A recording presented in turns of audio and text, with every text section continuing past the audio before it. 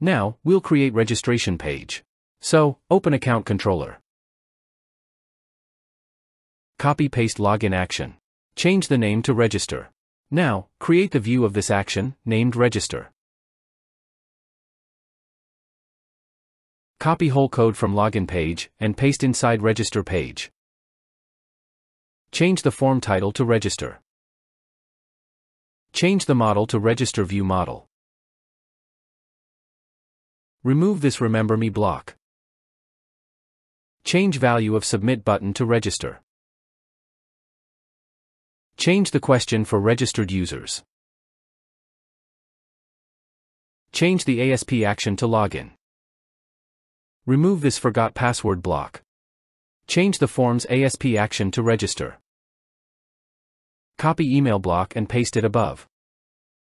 Set the ASP for to name in all three fields. It should be same as property in view model.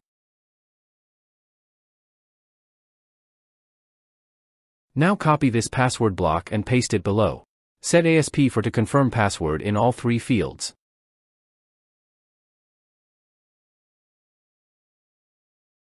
Change page title from login to register. Now run the app.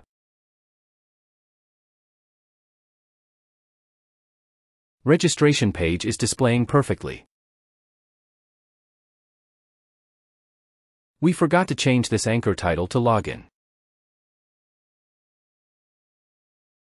With this, design of register page is complete.